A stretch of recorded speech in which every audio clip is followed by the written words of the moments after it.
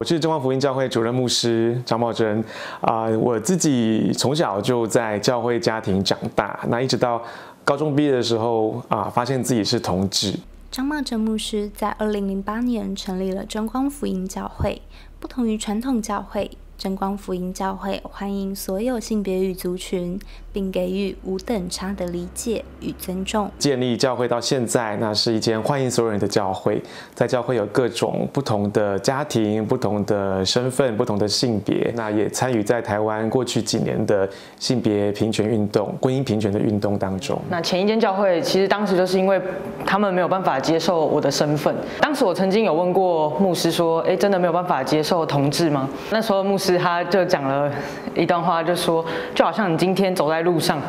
呃，可能鸟屎掉到你身上，你把它擦掉就好了。意思就是说，同志其实就是罪，你只要愿意离开，呃，就其实他就不会在你的身上。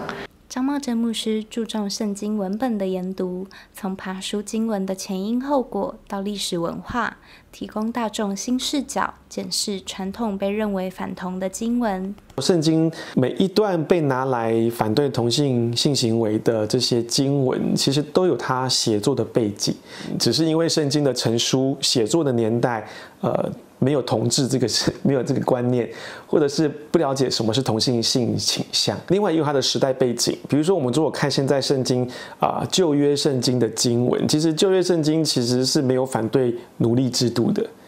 比如说，圣经啊，对于男女的关系，某种程度还是很传统的，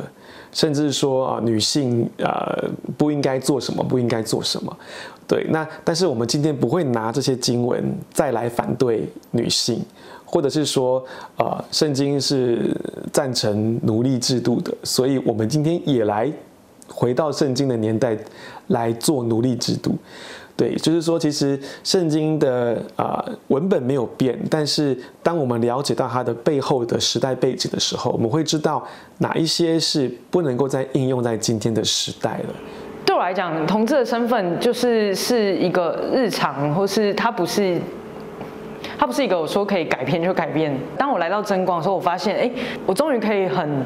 很开心的跟所有人分享福音。我不再只需要局限于我跟某些异性恋分享福音。到现在，其实都有啊，陆陆续续越来越多的异性恋的朋友到我们教会，然后他们带他们的孩子来，他们从小就可以认识到说，哎，我的好朋友啊，原来有两个妈妈，两个爸爸。或者是我的好朋友，哎，原来有一个爸爸，一个妈妈，对，所以我觉得我我我我蛮呃，我很喜欢我们教会，呃，有很多的家庭，然后很多的小朋友，然后能够在啊这么多元呃的环境当中长大，我相信对于他们的成长的历程也是会有很大的帮助。